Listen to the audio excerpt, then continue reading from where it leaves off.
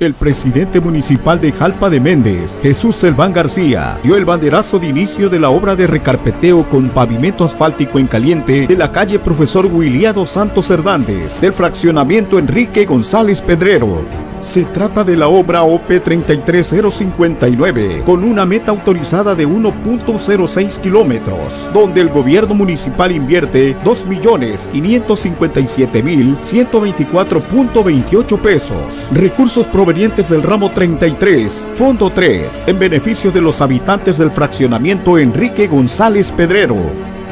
El alcalde expresó que con esta obra no solo se beneficia a este importante fraccionamiento, sino que también beneficia a los usuarios y deportistas que utilizan el área municipal del campestre. Ayuntamiento de Jalpa de Méndez, Gobierno de Unidad, con esperanza para todos.